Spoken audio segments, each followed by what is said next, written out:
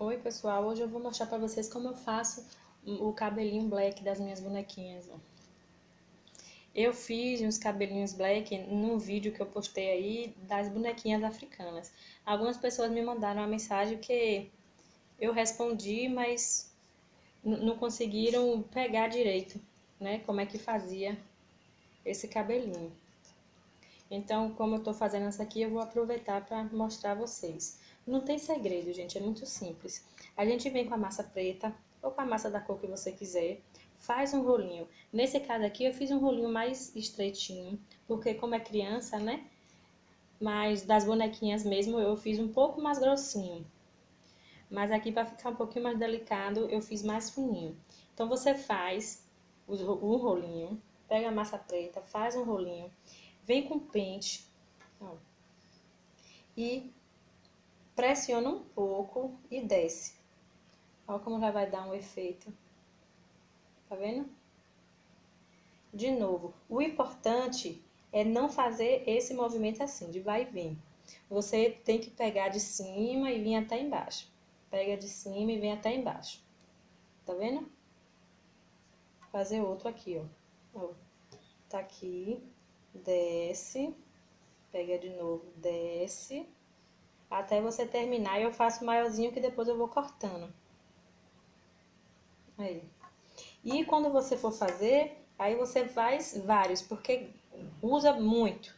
Agora, uma, de, um, uma sugestão que eu dou é assim, não faça, por exemplo, hoje de manhã, deixar pronto para fazer de tarde. Porque aí ele vai secar logo como é fininho e a gente precisa dele assim, maleável, para poder dar o movimento que a gente vai querer na peça. Certo? Então você faz todos para fazer logo. Eu vou fazer mais uma vez. Ó, no pente, você coloca a massinha, pressiona e desce. E escorrega, ó. Só isso. Certo? Aí, feito isso, a cabeça tem que estar tá forrada. Uma dica é você só fazer o cabelo, aliás, como qualquer cabelo, quando a peça estiver seca. Porque você vai ter que mexer, vai ter que, né? Para não deformar a sua cabecinha. Então, essa aqui como tá seca, eu vou molhar. Eu não vou nem passar cola.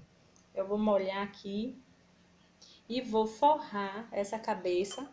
No meu caso aqui, com a massa preta, que o cabelinho dela são pretos. Você abre na mão um círculo, tá vendo? Vem aqui e forra essa cabecinha. Essa massa aqui também tem que estar fresca, porque se para ele aderir melhor, entendeu? Essa massa tem que estar fresquinha. Pronto, você só acerta aqui direitinho na frente, para ficar bonitinho. E eu vou molhar essa massa aqui.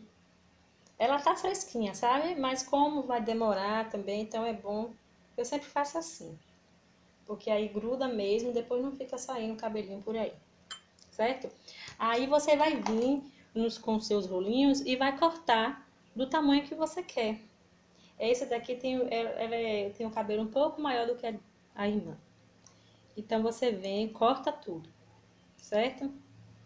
Você cortou tudo, agora nós vamos colocar. Eu vou usar a minha a minha estequinha aqui para ajudar só na, na, pontinha. Outra sugestão que eu dou a vocês é que comece sempre daqui do meio, tá vendo?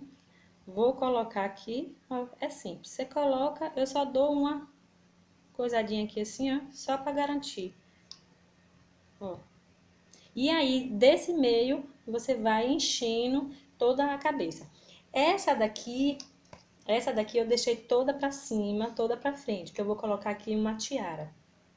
Agora, essa, eu vou colocar o cabelinho dela assim, meio, um pouco de lado, porque aqui na, vou colocar uma flor, um laço, certo? Então, ela vai ter esse caimento mais pra cá. Então, aí você pensa tudo direitinho, como é que vai fazer o penteado antes para depois, quando você começar, você vai começar a fazer de acordo o que você, né, planejou. Aí você vem, não tem também assim tudo muito certinho, porque como é um cabelinho afro, ele não tem aquela simetria, né? Ele tá bem à vontade. Aí você vem passando, porque depois a gente vai juntar tudo aqui. Ó, aí, tá vendo? Não tem mistério. Eu só venho aqui um pouquinho, só dou uma apertadinha só para garantir.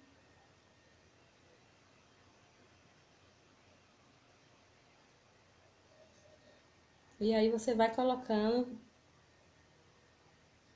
e vai preenchendo tudinho. Ó, já tô colocando. Tá vendo? Você veja que chegou assim na metade e aquele mundo de cabelinho que eu fiz não deu. Vou ter que fazer mais cabelinho para poder terminar de preencher.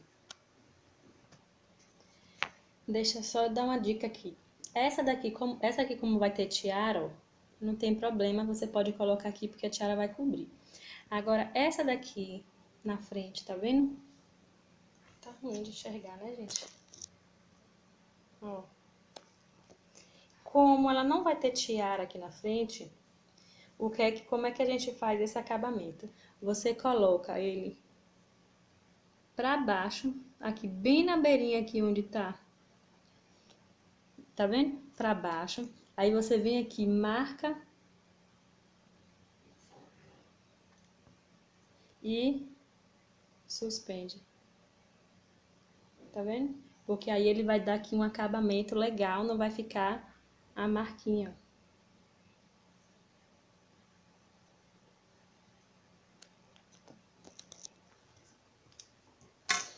Então, gente, aqui, terminei, tá vendo?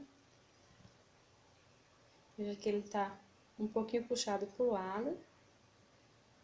E aqui eu deixei essa abertura viradinha um pouco pra cá, que aqui eu vou colocar uma flor para enfeitar essa cabecinha.